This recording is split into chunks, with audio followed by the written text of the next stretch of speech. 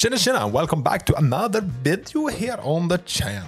Tjena and welcome to another video here. And like every other photographer do on YouTube, I'm gonna do what's in my camera bag 2024. This past year, I've been doing a lot of work with, with the camera, creating a lot of stuff, uh, both video and photo, mostly for my youth club and the hockey team I've been playing for. So my camera bag has pretty much been packed this entire winter. I never pack it up. I'm just leave it there and bring it with me before every practice. And my Godox slides has pretty much been stationary at the rink because we've been using them for, for the intro. But now when the season is over, I feel like it's time to rethink and revalue what goes in my camera bag. First off the most important for this video is that the bag is the same. The bag is perfect because it fits my 15 inch laptop uh, so I can bring it everywhere and it also fits two cameras. And when it comes to cameras, which camera should I bring? I've been shooting film, not as much lately. Uh, I have three rolls that I need to develop. I haven't figured out where I will do it. The guy here in town that I usually goes to, they went bankrupt, so or I don't know if they went bankrupt and shut the store down. I can't do that anymore, so I need to figure out a better way to develop. I've been looking into doing it myself. Feels like I'm gonna gonna ruin the film. I haven't figured that out, but I will try to shoot more films. So the Nikon camera will go in the bag. Most times, if I know I'm going out in the woods and doing a travel like camping video, I don't think I will bring it. I like shooting black and white, and black and white in the woods doesn't just it looks good, but uh, it doesn't feel like that style I will I'm looking for when it comes to black and white photos and film photos. The GH5 has been in the bag for the entire hockey season, pretty much. Because I've been filming, I've been doing intro videos uh, for the team. So the GH5 has been in the bag the entire winter. I've been using it to shoot photos as well. Kind of like easy to have a camera that's like all around. Uh, when I first got it, I set it up for photos. That's still there. Now it's all set up for filming, which gives it a more all-round use compared to my G9.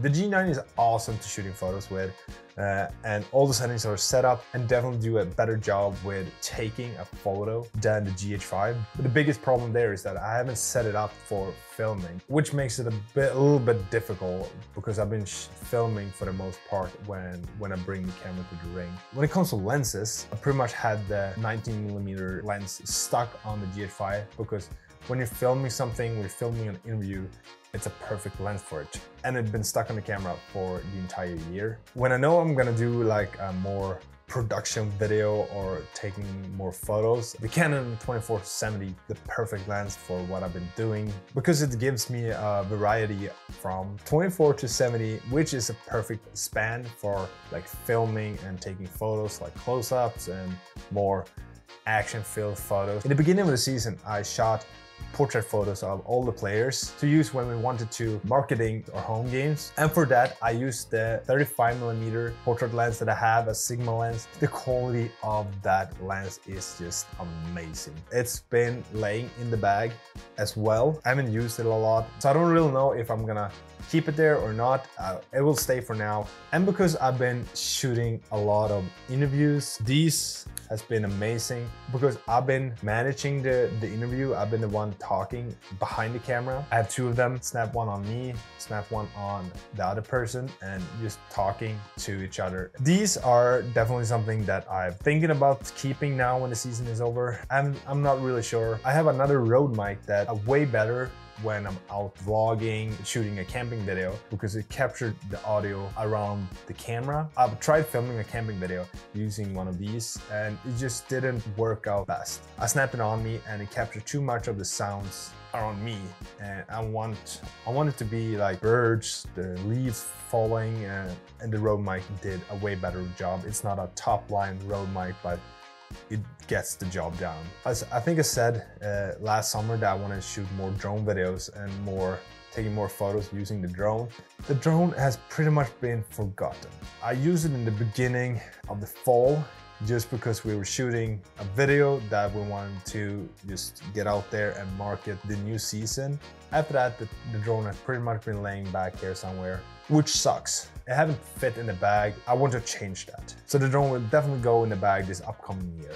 And as I said in the beginning, this bag is perfect for fitting my laptop. It's an HP Spectre laptop. It's not the best. I've been looking to upgrade a little bit, but I haven't figured out which one I'm gonna use. So I will keep that to the future. And hopefully, and what laptop I'm ending up with, I hope it's still gonna fit in the bag. The batteries I've been having has been pretty much laying in the bag all the time. As soon as I've seen some of them uh, starting to run out, I bring take them out, start charging them, and then put them back in back in the bag. So I know I always have fully charged batteries. And maybe we should move over to the most important parts that's in my camera bag. Number one, Dextrosol. I don't know how many times it actually saved my life having these. As soon as I get a low glucose level or my blood sugar drops, always are nice to have them close to hand.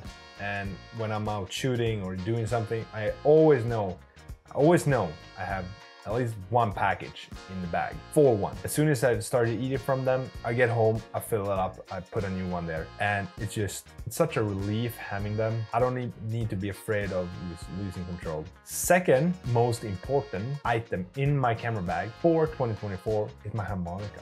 I don't know why I kept that there. I have two. One I actually know how to play a little bit on. Other one, I don't know, I bought it fairly cheap and it just sucks. I can't get it to sound right. It's a smaller one, it's a 10 hole harmonica. For some reason, it just doesn't feel and sound the same. It's a cheap one. Feels a little bit more plastic than, than the other one I have, which is a 16 hole, but it's just been ending up in the bag. I don't bring it out. I don't take it out. And the reason I left it in the bag is because I always have it with me so I can play and practice, which I haven't done yet, but it will stay in the bag. Time to wrap it up and that's how I'm packing my camera bag for 2024. Over the year, I probably end up adding something and taking something away. This is pretty much the baseline of what I'm having in the bag. Let me know if there's something that you have in your bag that most people don't. It would be nice to see if someone um, have something special that maybe I can bring or maybe give someone else a tip of what to add to the bag that stands out from the rest. Thank you so much for watching this video. Don't forget to like it and subscribe to the channel. I've put up the tent and looking to buy another one. But now when the snow is starting to disappear, hopefully I can get out and make some more camping videos. Ha.